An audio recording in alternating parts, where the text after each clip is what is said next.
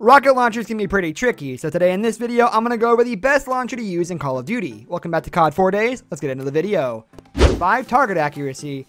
In a fast-paced fight, shot accuracy matters a lot, and if you are not able to frequently land your shots, then it is a recipe for disaster. Out of the bunch, Pila is probably the least accurate launcher. The rockets, even when locked, take a random path swerving left and right, making it very unreliable, especially for long ranges. Sometimes, even when it is locked onto a moving target, it tends to miss, making it a very hard choice. Strela, on the other hand, is completely opposite as it offers brilliant accuracy. One can mistake this weapon for a sniper. JOKR is the most accurate launcher in the game, but there is a catch. It is only accurate if the intended target is standing still. Otherwise, there is a high chance of the rocket missing, leaving you handicapped with an empty launcher. The RPG is better than the Pila, but it is still pretty bad at long ranges. You have to be very lucky in order to hit your shots, but when they do hit, it is an instant kill on the enemies. All the comparisons led to the JOKR being the best launcher available as long as you have good aim and good game sense. If you shoot it in the rear, you can get a critical damage multiplier, but I just wanted to keep things nice and consistent and look at kind of... Number 4. Types of launchers. Currently, Call of Duty multiplayer mode, which includes Warzone, offers up to four different choices when it comes to rocket launchers, namely Pila, Strela, JOKR, and the good old RPG. While all these are weapons from the same category, each of them have their pros and cons with regards to multiple factors that may affect gameplay positively or negatively depending on your playstyle. Good job at it. If you, if they were to just have one launcher in this game, I would want this to be the one because it does everything. Number three, area of effect and damage. The area of effect can be deduced by the damage radius which each of these weapons have. The largest damage radius belongs to the JOKR, which can destroy enemy lines within a 15 meter radius, with the center being the area of impact.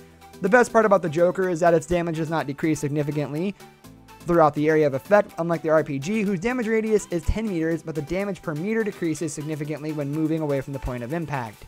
JOKR also does a maximum of 300 damage, which is almost twice in that of the RPG, and more than twice that the Strela and the Pila can do at best. Strela and Pila also have a considerably low area of effect, coming in at 5.5 meters and 7.5 meters respectively blowing up people on the ground, good secondary launch that you can switch to in a tight. Number two, usability.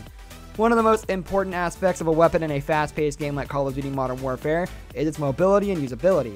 When it comes to usability, the reload time and time to fire matter a lot. The JOKR launcher may deal the highest damage and have the largest damage radius, but it also takes almost 2 good seconds to lock onto a target before being able to fire the rocket. It means that the enemy will have 2 seconds to react and kill you while you are just standing trying to lock onto him or her. Also, if you end up missing your shot, it will take another 2 seconds to reload the launcher with a rocket, which means you have to wait almost 4 seconds in order to get your second rocket away. The RPG is the best launcher in this regard as it has a fire time of just over half a second and can be reloaded in under 2 seconds. While Strela and Pila are just as quick as the RPG when it comes to their time to fire, they lag behind in reload times performing even worse than the JOKR at over 4 seconds. If the weapons are amped, then the reload times can be decreased significantly, making the JOKR the most viable option out of the four.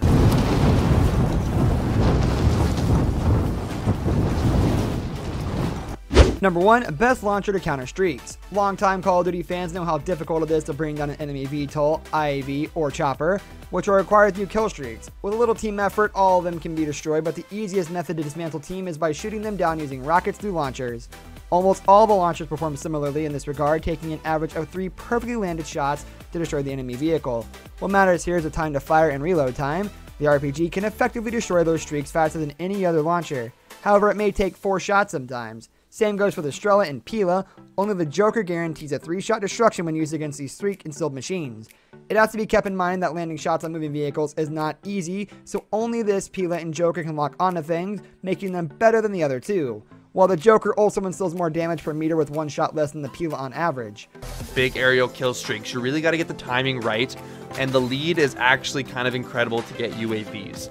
So on this brings us to the end of our video. I hope you enjoyed it. Hit like if you did, and don't forget to subscribe to our channel so you don't miss out on any of our videos in the future.